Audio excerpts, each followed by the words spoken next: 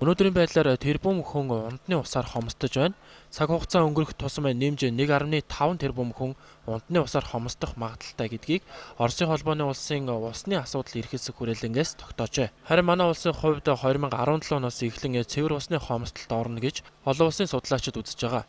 Тиймээс усны нөөцөд анхаарах цаг хэдийн болсныг ойлгох нь чухал байгааг Монголын судлаачид анхааруулж байгаа юм а. Хайж байгаа усыг бол бүрэн цэвэршүүлээд бүр ундны ус болгоод одоо уух болцоотой ийм техник технологи их өндөр түвшинд хөгжсөн. Тийм учраас усны асуудлыг бол бид нэр усны нөөц хол байна 50 км 100 км ус татна гэдэг асуудал биш хажууд чинь усны нөөц чинь байж байна. Хэрэглээ чинь байж байгаа. Тэр огт ус унсаа цэвэршүүлээд буцаагаад ашиглах юм болцоо боломж байна гэдэг ийм шин нөхцөл байдал шин менежментийн орчин бол үүсэж байгаа. Энэ дээр хамгийн гол нь бол техник технологи дэмжиж та хайж байгаа усаа буцаагаад ашиглаж байгаа бол татварахгүй үнгүй ашиглаж болно. Ийм байдлаар бидний цаана байгаа цэвэр усныхаа нөөцийг одоо урт удаан хугацаанд хадгалах, хамгаалах ийм эдийн засгийн хөшүүргийн механизм бас дутагдаад байгаа учраас энийг бий болгоё гэж ингэж ярьж байгаа.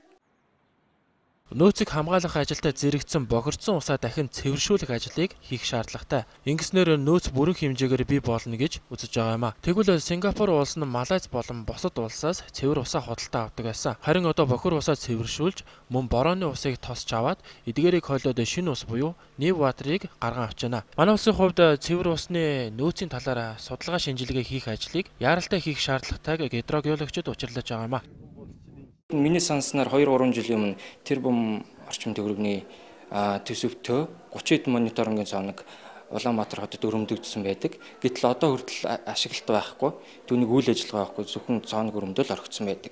Энэ маань бол ирээдүйд бол уул нь маш их чухал зүйл юм байна. Яагаад гэвэл хэрвээ бохирдол байдаг юм бол эрт илрүүлэх тийм ээ.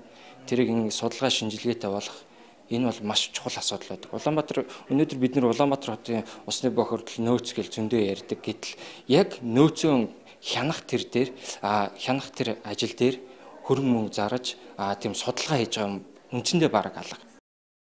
Нөөцийн судалгаа шинжилгээний мэрэгжилтэн манад хангалттай байгаа. Харин төсөв үртгийг шийдэж өгөх асуудал чухалд тавигдаж байна. Нөгөө талаар усны салбарт төдийлөн ач холбогдол өгөхгүй байгааг хэлж байгаа юм а. Тодорхойлбол аж ахуй нэгж байгууллагууд алдагдaltaй ажиллахыг хүсэхгүй байгаатай холбоотой гэж тайлбарлаж байна. Ийхүү асуудлуудыг хилэлцэж суух үед цэвэр усны нөөц улам багасаар байгаа нь харамсалтай.